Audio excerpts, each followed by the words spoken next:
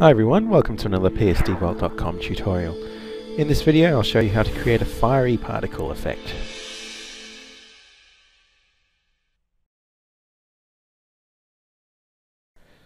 So first of all we're going to be creating the brush that is the basis for the particle effect.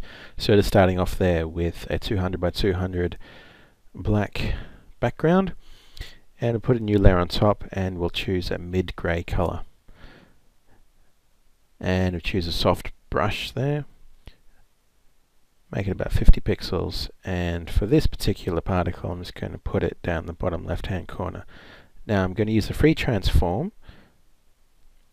Right click in there and change it to distort and then drag it up to the diagonal right there.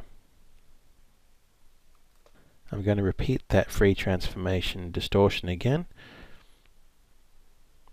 just to make this particle look as if it's moving.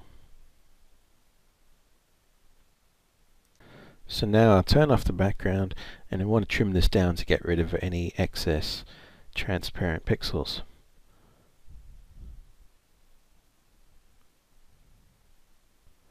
So then we go back up to the edit menu and down to define brush preset and call it whatever we want there.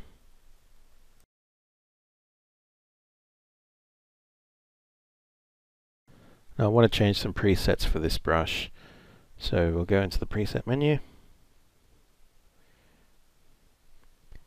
Now I'm going to be turning on the shape dynamics.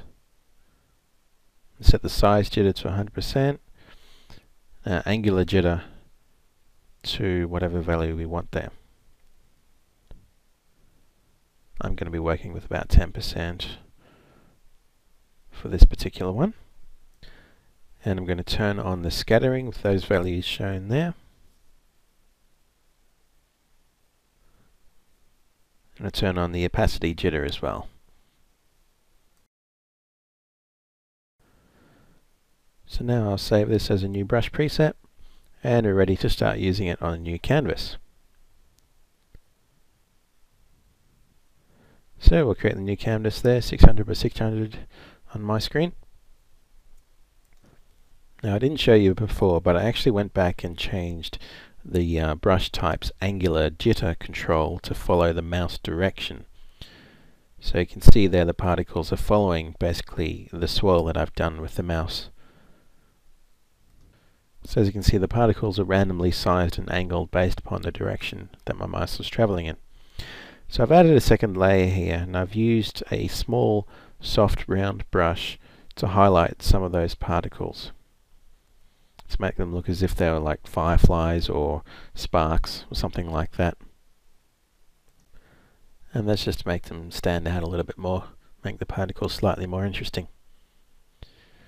Okay, so now I've added a couple of adjustment layers, and this will define our color of the particles.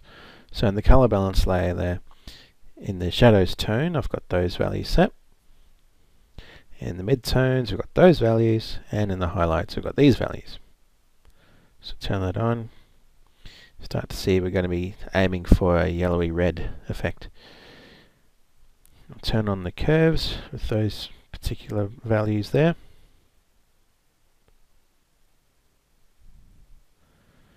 And in hue and saturation, got those values. So it turns it into a nice fiery red colour. We can play with the saturation a bit.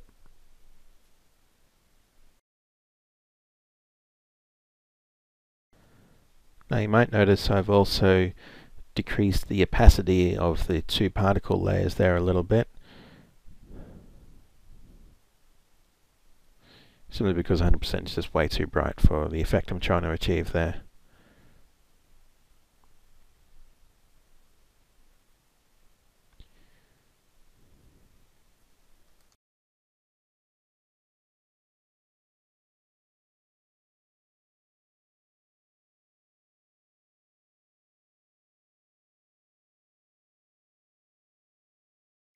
Now finally I'm going to add a slight blur to this image.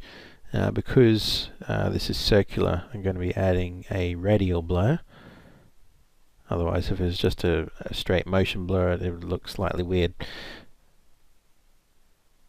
Now I'm not going to go overboard with the amount of blurring involved here. So you can see there the blurring effect is just taking the edges off some of those particles.